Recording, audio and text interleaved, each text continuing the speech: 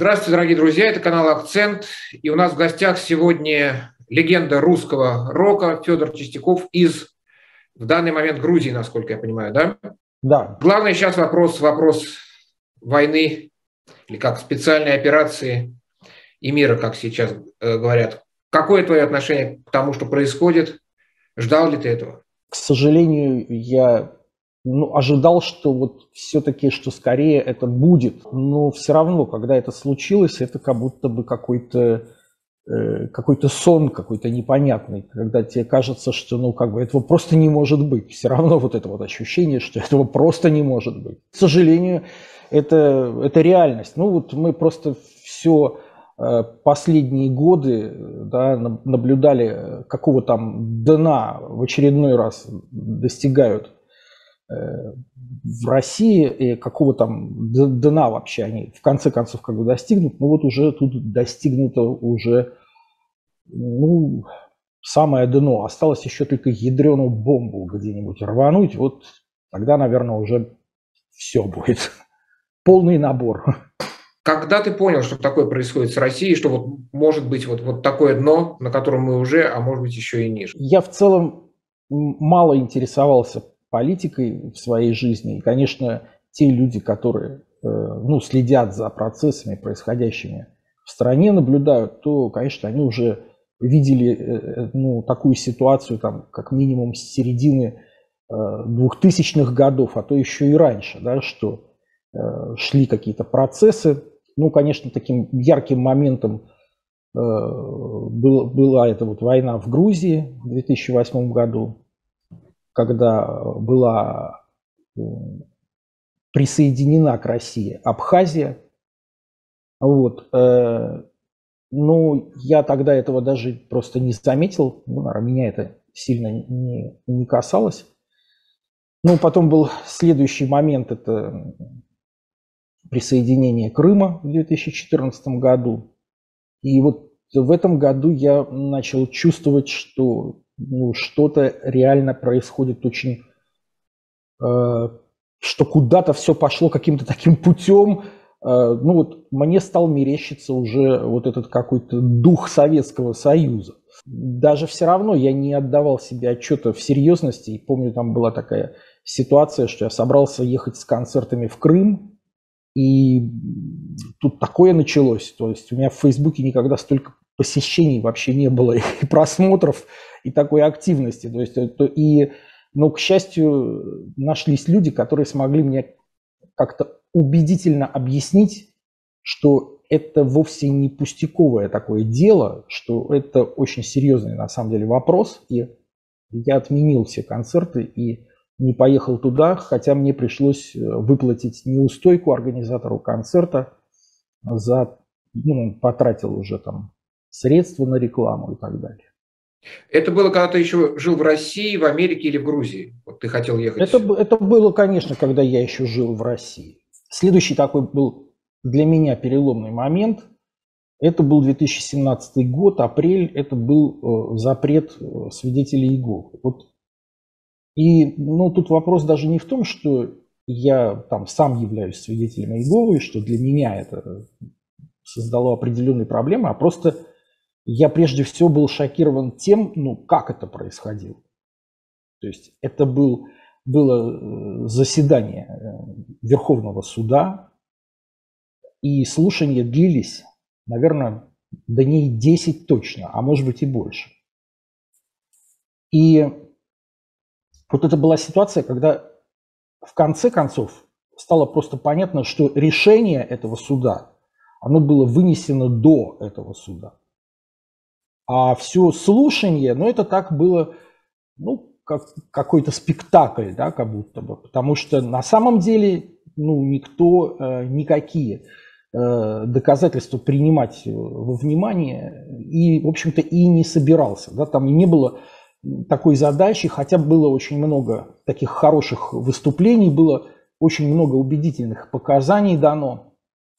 И вот даже настолько, что э, судья в какой-то момент спросил у стороны обвинения, а это был Минюст, ну там какая-то женщина участвовала, и он спросил, ну, вы знаете, ну вот, а вы не хотели бы изменить формулировку обвинения?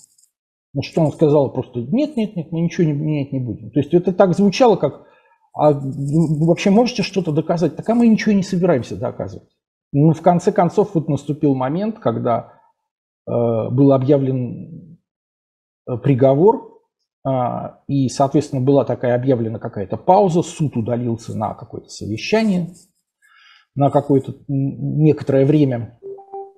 И вот это был такой очень напряженный момент, потому что я еще тогда э, по своей какой-то наивности э, верил в то, что вообще ну, существует какая-то, ну что какие-то вообще принципы существуют, что их нельзя переходить, что их нельзя перейти. Ну вот, как бы когда судья вышел, и таким никаким отсутствующим каким-то голосом просто там бу-бу-бу-бу-бу объявляется там решение суда удовлетворить требования истца. Ну и как бы и все. Вот в этот момент я, вот, вот это было самое страшное. То есть да, самое страшное, что ты понимаешь, что э, ты находишься в стране, в которой уже ничего не работает. То есть э, любого человека можно обвинить в чем угодно и, условно говоря, сфабриковать дело, это доказать, и даже особенно и фабриковать ничего, в принципе, не будут. А, а просто, ну, в конце концов, по-тупому закроют. По-умному не получится, по-тупому выйдет. Вот, после этого как раз я и уехал а, в Соединенные Штаты. Нет у тебя такого вот навязчивого ощущения, что что-то это напоминает, да, что вот как-то вот в фашистской Германии тоже начинали с геев, свидетелей Иеговы, э, там э, каких-то еще таких людей. Э, а в общем, чем это все закончилось?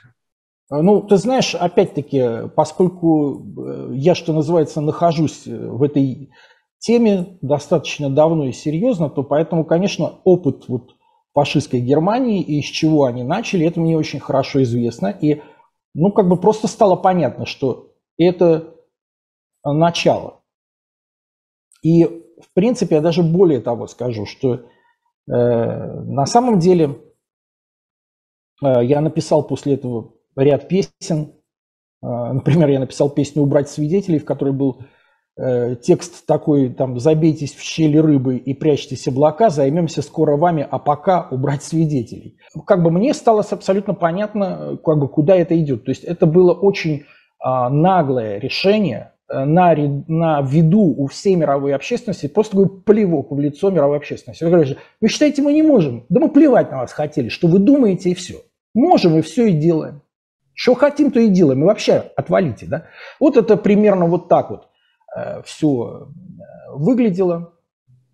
Но интересно, что сейчас, вот, когда началась э, война в Украине, я с удивлением обнаружил, что, опять-таки, многие песни, которые я написал тогда, Э, может быть, они не очень были понятны людям, что я имею в виду. Ну, например, там в 2018 году я выпустил альбом «Нежелательная песня», там на обложке такой красный медведь, который рвет все там человеческие ценности и вырывается наружу, то тогда ну, многие считали, что я сошел с ума и что, в принципе, э, как-то, что это чересчур, что это, ну, скажем так, какая-то паника, да, может быть или преувеличение действительности. А на самом деле, а вот сегодня все это отлично э, как бы смотрится и слушается. Там песня «Красный медведь нажрался героина». Вообще, вот теперь уже кто скажет, что это не так? Вот теперь все, да, теперь все уже в открытую.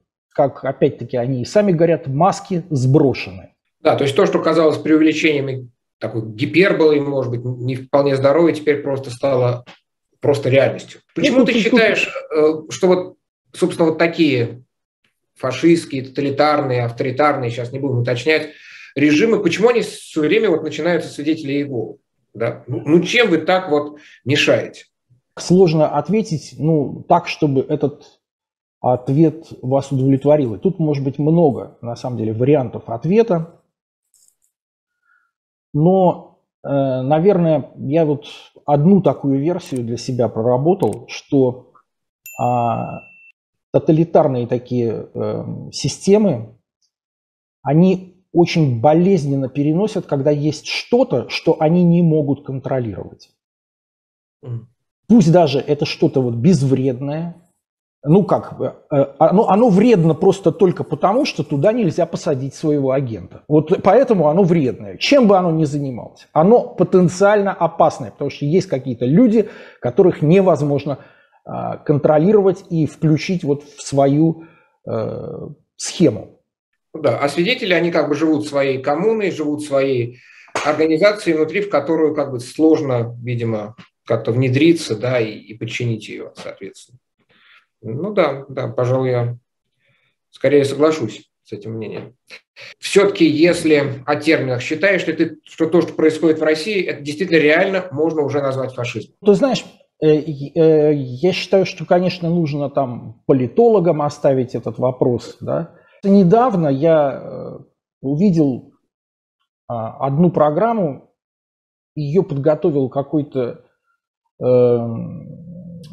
интернет-магазин, ну, насколько я понял. Я даже не очень понял, что это такое. Ну, это натурально. Вот этот Z, там тебе, ты знаешь, да, это новый да, такой да. Э, символ, пох, похожий на свастику, да, и вот, значит, вот этот символ, э, толпы молодых людей, у которых на рукавах написано «Отряды Путина», и в зале какая-то играет группа, и они там поют за веру и что-то и страну, за э, красивую э, мою, без нам не указ, за Донбасс. И вот такой вот рок-концерт, все там хором в зале поют, ну такой, ну фашистский шабаш натуральный. Вот ты, получается, своим творчеством, своими песнями предсказал то, что происходит сейчас, да, то есть то, что казалось гиперболой, оказалось реальностью. Что ты видишь дальше? Как ты чувствуешь? Что может быть дальше? Ну, ты знаешь, я должен сказать, что на самом деле я не, не то чтобы э, предсказал, потому что просто скорее вот, ну, можно сказать, что свидетели Иеговы – это народ. В России на тот момент было порядка 150 тысяч свидетелей Иеговы. Это, в принципе, ну, такой небольшой городок. Если ну, бы да. так собрать их всех в одно место, да, это был бы небольшой город. И э, вот просто э, всех э, жителей этого Э, городка фактически берут в оккупацию,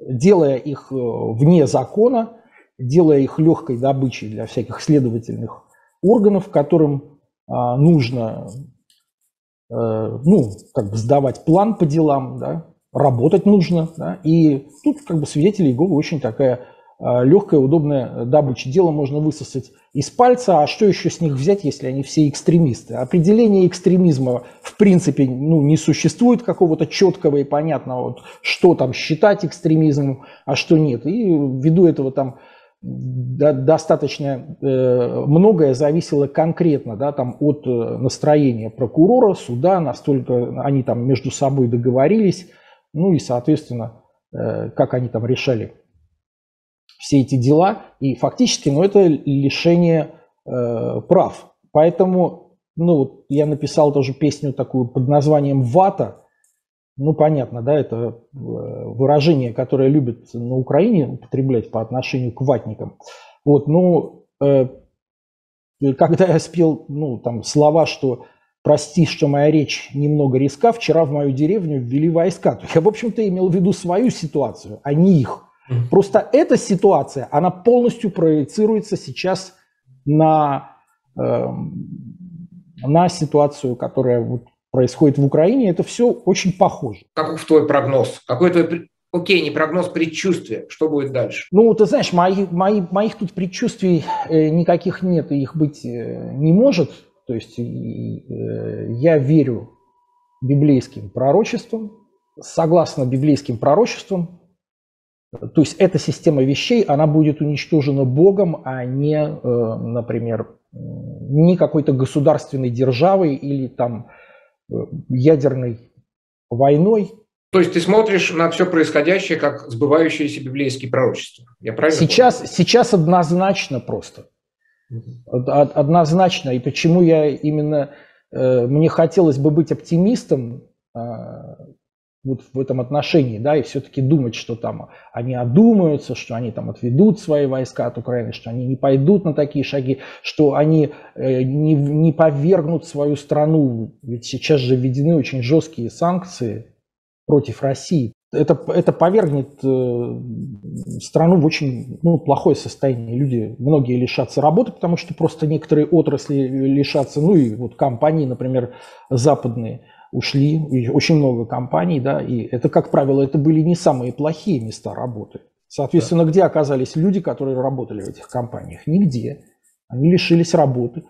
Э, сейчас изменился курс рубля, и он дальше будет меняться. Да? Люди лишатся своих доходов, лишатся своих накоплений в значительной части, возможно, потеряют к ним доступ и так далее. То есть э, будет масса проблем. Соответственно, из магазинов будут исчезать постепенно товары, уже больше там какой-то западной электроники новейшей не будет, будет только все то, что успели купить и пока оно еще будет работать. Ну, примерно вот, э, вот как-то так. И это будет э, приходить. Вот казалось, что ну вот, э, ну нет, но ведь это же такое безумие, это же такое безумие. Ну как так можно сделать, что просто развалить вообще все? То есть сейчас они там Украину крошат в руины. Вот я сегодня только общался с людьми, ну что, они там сидели все в подвалах, Некоторые продолжают сидеть, э, там с одной семьей начали общаться, 10 минут пообщались, и они исчезли из сети, уже 4 дня неизвестно, где они, потому что никакой нет связи. Да. И там просто зачищается вся инфраструктура, да, просто бомбятся города, разруха и так далее. То есть мирное население, никакие там не, не фашисты, как они там рассказывают эти сказки. Ну и Россия сейчас получает очень серьезные Э, удары и экономические, да, то есть э, кому от этого станет лучше-то вообще, вот от этой войны, кто, кто, э, как это, кто бенефициар, да, кто из этого извлекает пользу, это просто прихоть ну, какой-то сумасшедшей идеи фактически одного человека. Но почему люди этого не понимают? Многие, не то что все, да. Но почему многие в России этого не понимают? Да? Вот ты опять, ты контактируешь с друзьями из Украины, как мы все в эти дни друзей в России у тебя много, да, вся вот, собственно говоря, рок-тусовка, да, еще тех времен и там кучу разных людей. Как ты это чувствуешь? Действительно все не понимают, что происходит и, и чем это закончится? Или как, как вот вообще это вот стоит? Не, ну, э, нет, ну не, не все не понимают. Есть те, которые понимают, э, но, видимо, это меньшинство, а большинство, оно подвержено, в общем-то, воздействию пропаганды, на пропаганду ставки были сделаны очень большие, то есть э, расходы да, на пропаганду это, наверное, вторые после военных, если не первые. Э, и что, опять-таки, там сейчас круглые сутки ток-шоу ненависти с экрана не сходят. То есть люди думать сами все-таки, ну, значительная часть людей, окей, сами думать не умеют, да, как ты считаешь? Знаешь, это есть э, эффект, вот даже проводили такой, ну, психологический эксперимент, когда э, человека приводили, ну, в какую-то в комнату, где еще находится там 10 или 15 человек, и они все, показывая на черное, говорят, что это белое. Человек говорит, ну как, как оно белое, когда оно черное? Говорят, да да что ты, посмотри. И что он постепенно, он начинает как бы понимать, что, ну, как бы, да, наверное, оно действительно белое. То есть он переучивается. Ты заметная часть э, русской культуры э, там, конца 20-го, начала 21 века, да? Ты как бы уже там. Как ты, вот если чувствуешь ли ты какое-то, что-то пересматриваешь, чувствуешь ли ты какую-то ответственность за то, что произошло, что где-то что-то ну, все равно культура же влияет на общество, да, очень сильно. Э, что-то не доделали, что-то не так. И вот то, что привело, э, к чему мы пришли, да, что это частью вина э, русской культуры, и, может быть, где-то и твоя. Нет у тебя таких, такого ощущения?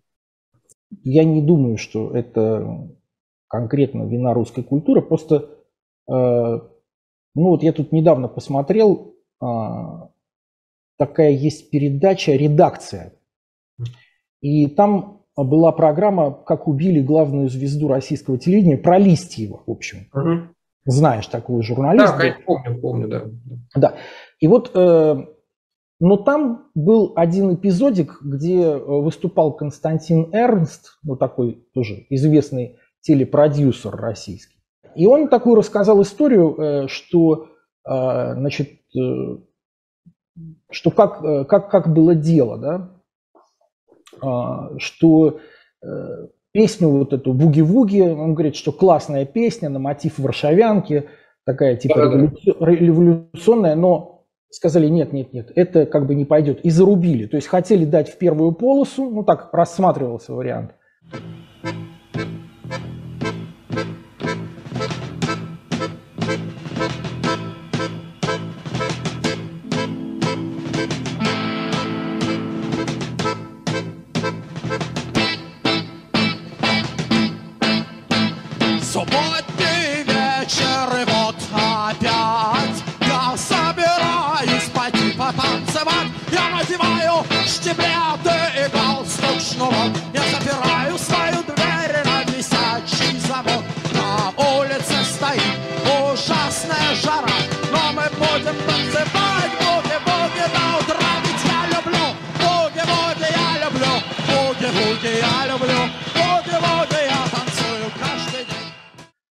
если бы это тогда бы сделали, то сейчас бы меня бы все бы знали бы именно с этой песни. А вот так, поскольку произошло, то всплыл я потом, накурившись гашиша. И, ну, логика какая? Получается, что вот буги-вуги на мотив варшавянки – это очень опасно.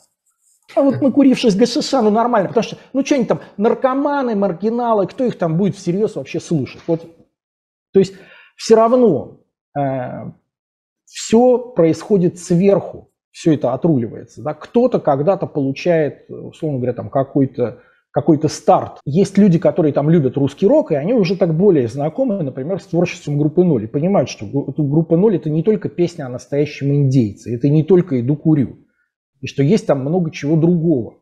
И тоже, что люди любят. Да? Но, но э, вот для большинства людей всего этого другого не существует. Существует только э, вот это. Они это знают, больше они ничего не знают. Например, там, допустим, песню о настоящем индейце ее исполняли там э, э, Стас Пьеха, Сосо Павлиашвили, то есть вообще не рок-н-ролльные люди. То есть вообще. И это э, как бы все, это вышло, это, это вышло за пределы вот этой э, субкультуры, и именно вот эти три песни. Нет, ну Поэтому... улица Ленина все-таки. Улица Ленина достаточно такая песня-то, в общем. Понятно про да. что. А, она да. все-таки тоже вошла в такой, ну как в несколько вот самых таких. Но, но, но, но она меньше. меньше. Она меньше. То есть вот э, эти три, это «Иду курю», «Человек и кошка» и «Песня о настоящем индейце» – это три э, самых э, таких топовых песни. То есть ты считаешь дело не в, собственно, самой культуре, а в том, как это все использовалось и формировалось какими-то людьми, которые вот связаны со СМИ, с, ну, в общем-то, в конце концов, с госидеологией, да, и что это, в общем-то, начиналось еще тогда, когда еще заканчивался Советский Союз, так выходит? Наверное, да.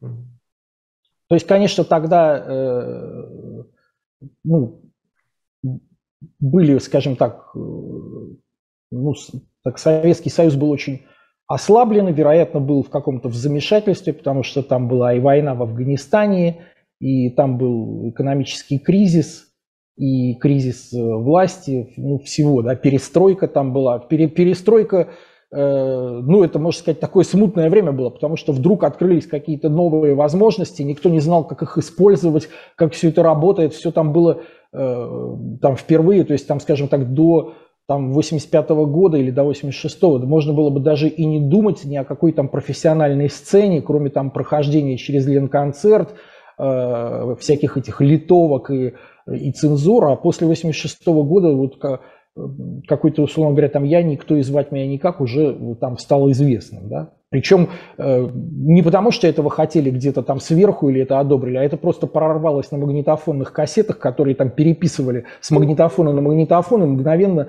э, все расходилось э, по всей стране, там, от Владивостока и до Питера.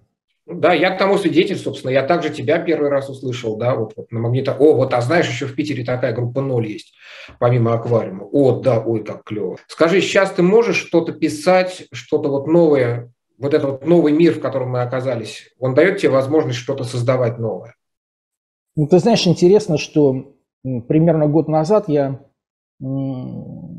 сделал несколько таких набросков, у меня родилось несколько идей э, песен, но, но я их ну, просто не записывал, отчасти потому что еще, что называется, не сложился момент. Э, но вот сегодня я как раз э, собрался их записать и собрался записать новый альбом. И, честно скажу, я даже не знаю, там, Э, там удастся ли все это там довести до конца, потому что ну, вот эта сумасшедшая ситуация, она просто э, ну, не, она делает мир полностью непредсказуемым. Абсолютно. Абсолютно. И, э, и ну, скажем так, одна, одна из песен, как раз, которую я написал год назад, она называлась «Война». Вот я надеюсь, что скоро смогу ее опубликовать. Разумеется, я не буду делать никаких, э, скажем так, физических носителей, но опять в нынешней ситуации все это просто потеряло э, всякий смысл. Да? Просто хочется сделать э, музыку, записать песни, которые, ну, я надеюсь, поднимут как-то настроение и разнообразят жизнь. Россияне теперь стали во всех отношениях неплатежеспособными, потому что, во-первых, тут и, и деньги обесцениваются, так еще и мало этого, так и э, а нет никакой возможности, карты не работают, они никак не могут э, поддержать эту работу. Вот, поэтому, если в новом свете как-то поддержат, я буду очень признателен. Да, ну, я думаю, да, давай больше информации о новом альбоме. И я думаю, многие люди, которые здесь живут в Америке, в Европе, да, они, конечно, постараются поддержать. Есть название альбома или это пока все еще? Не, не могу сказать, э, как я это назвал. Просто опять вот как-то ситуация меняется, смыслы меняются, какие-то вещи каждый день э, меняются, и альбом ведь записать это не, не за один день, это ну, какая-то работа, которая там ну, растянется она во времени. Что мы будем иметь к тому моменту вообще, вот вообще тоже никто не знает. Я так понимаю, даже странно спрашивать дедлайнов по поводу, когда ты это сделаешь, когда ждать твой новый альбом в этом году, если, даст Бог, вообще живы будем, или там тоже можешь ты что-то тут сказать по срокам? Или Нет, это... я, я, я, я, я очень надеюсь это сделать вообще как можно быстрее, может быть, э, там э, за месяц, за пару месяцев. Ну, ну, ни в коем случае там не в долгострой какой-то там на, э, на годы. Да. И это все есть... должны быть новые песни, я так понимаю, да? Да. Что-нибудь, вообще хоть как-то ты можешь что-то сказать по поводу концертов? Будут они, не будут, ну, понятно, что не в России, вообще хоть что-то про это. Думаю, что пока про концерты э, речь пока не идет. Что бы ты сейчас хотел сказать своим русским поклонникам? Ну, мне бы прежде всего хотелось, чтобы вы не заблуждались по поводу происходящего вот сейчас в Украине, что это никакая не спецоперация, это самая настоящая война, а, Причем война, в которой методично уничтожаются инфраструктура и мирное население. И люди очень страдают от этого.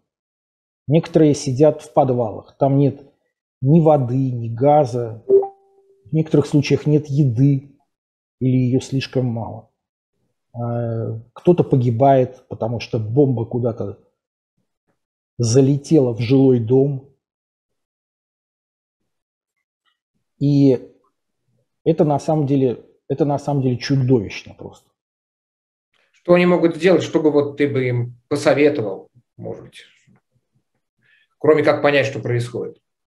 Ну, мне кажется, что достаточно уже, когда человек начинает просто понимать вообще, какова правда, то он, по крайней мере, уже не захочет подыгрывать этой лжи, как минимум. Сейчас я уже столкнулся с тем, что в мире меняется отношение э, к русским. Ну, к счастью, я еще не столкнулся лично, например, с какими-то э, проявлениями, но, например, грузины, они очень э, болезненно реагируют на эту ситуацию, потому что у них была война, тоже в 2008 году, и очень многие пострадали, очень много беженцев было в Тбилиси, люди просто покидали э, свои дома, все, что у них было, и просто бежали.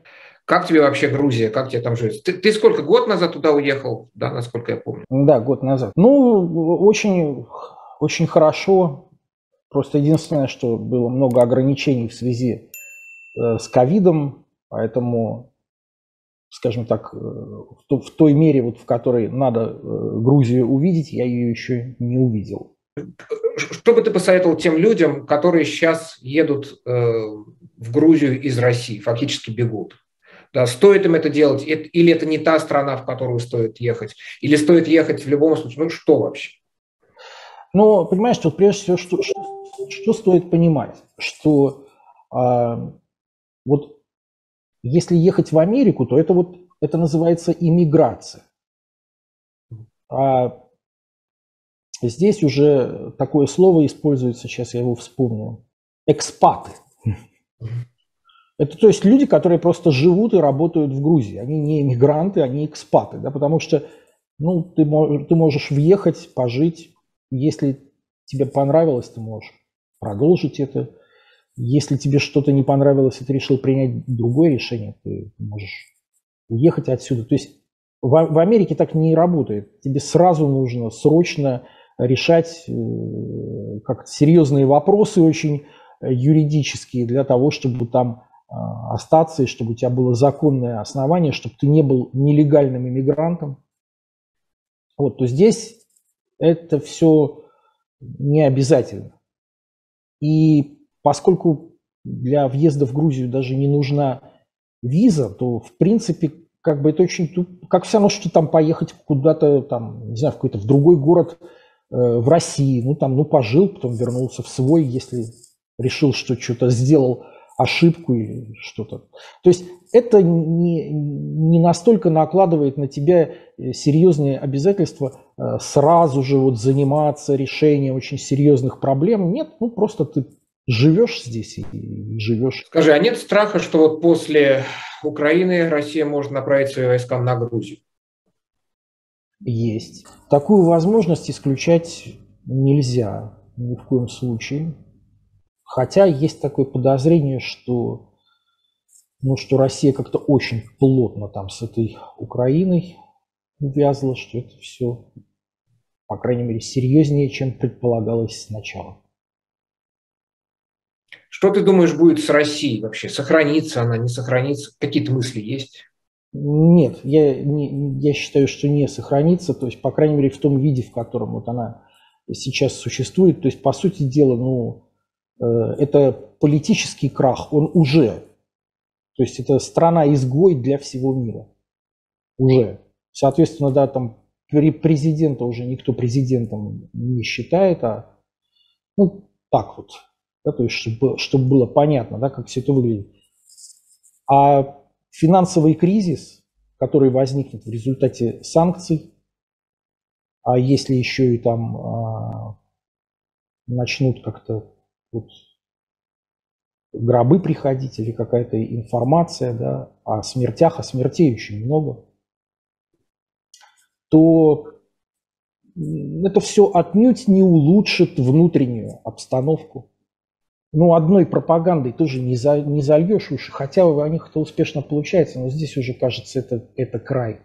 Потому что там, как, говорит, когда, как говорится, когда холодильник начинает спорить с телевизором, то побеждает А может быть, может телевизор выиграть. Вот так люди не будут ничего есть, но зато мы там всему миру показали, зато мы там за свою землю, еще что-то, ну вот все это, да, там химическое оружие в Украине, там точечного действия, которое не действует на украинцев, но действует на русских, да, и вот, вот уже до таких вещей дошло.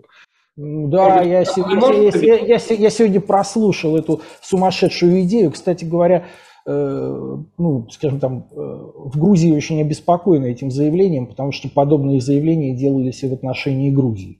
То есть это такая калька уже накатанная про химическое оружие в американских лабораториях, действующее избирательно. Да, то есть на украинцев не действует, на да. русских действует, да. Это, кстати говоря, противоречит идее того, что, которую выдвинул тоже президент Российской Федерации в своей известной статье про Украину, что украинцы и русские – это один народ. Если они один народ, то как тогда оно может не действовать.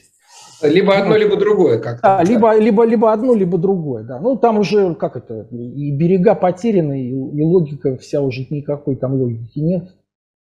Вот, так что опасность существует а всего, что э, всего, что угодно. Так что наблюдаем над ситуацией, стараемся как-то сохраняться. Ну да. Ну то есть ты все-таки веришь, что холодильник рано или поздно победит телевизор? Один местный человек, который давно живет здесь, ну, с рождения. Он так вот это описал, он сказал, что, вот, говорит, знаешь, вот, чем грузины от русских отличаются, что русские будут терпеть любую несправедливость, но когда будет жрать нечего, они пойдут на улицу. А вот грузины, они будут терпеть голод, но когда будет какая-то несправедливость, они выйдут. То есть другой менталитет. Mm, очень интересно. И ты согласен с этим? Ну, я не знаю, мне трудно это оценить на 100%, да, ну, ну, ну как-то в этом есть смысл определенно. Что-то в этом есть. Федор, может быть, ты что-то хочешь сказать такое специальное твоим поклонникам, зрителям в любой стране мира, вообще людям? Да, в общем, нет, ну, наверное, все я уже, что хотел сказать, я, наверное, э, сказал. Все остальное мы услышим в песнях. Да. да. Вот, может быть, еще хотел такой э, момент добавить, но это не обращение к слушателям, это просто такой любопытный эпизод, что э, там сегодня так популярно, да, ну, надевать украинскую вышиванку, и где-то там, ну, различные люди, да, они появляются в эфире вот в такой одежде. И я вспомнил, что все мои концертные рубашки там, ну, в период там, группы 0 и 10 года, это все были украинские вышиванки. их... Это специально было или тебе нравилось? Почему так? Да, мне, мне, мне нравилось, и это как-то я так одевал, это как будто бы такой русский народный, хотя он на самом деле, ну, как бы не русский, да. Вот, а сейчас я где-то их в переезде потерял, давно не использовал, сегодня сунулся и смотрю, что-то нету их, нету их, где-то, значит, они потерялись э, в перелетах. Вот. Ну вот при, пришлось одеть американскую рубашку красивую. Да, ну тоже часть, часть твоей судьбы и часть истории. Ну что ж, спасибо, Федор. Ждем все-таки, конечно, ждем твоего нового альбома. Ждем, что когда-то будут новые концерты, где ты выйдешь в вышиванке новый и сыграешь для нас.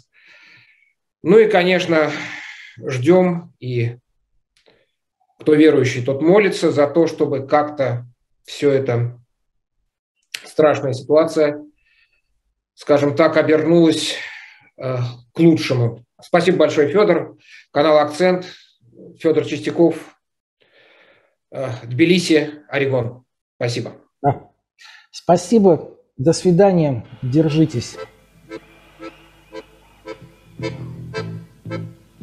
you.